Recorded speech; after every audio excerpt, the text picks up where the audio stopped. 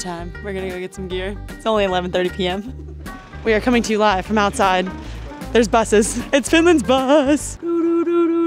After party. Clear skies, nice and a little bit, probably 10 degree wind to the west.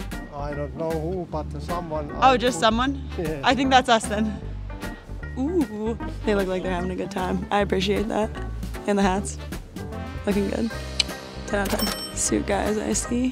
Where do you think they get them tailored? I don't want to talk really loud because I don't want to draw attention to myself. Who wants to dance with me? Hello, everyone. Great game. Good job. I think that I have to go home tonight. You can still go home tonight, but just in a couple hours after we hang out a little bit longer. You let me know. Think about it. We got time. Karaoke night. And here we are. As you can see, the water is crisp and clear.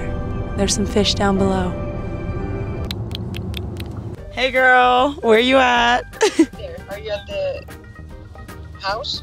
I think they're back there. That might, yeah, that car just pulled up. I think that's theirs. Ronja, we're coming. Ronja, Ronja, Ronja.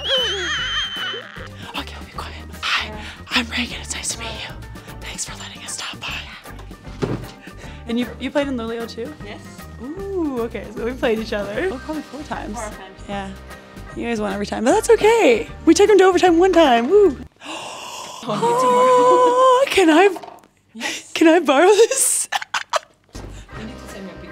okay, sounds good. This is what you win in the SDHL, which is the Swedish Women's Hockey League.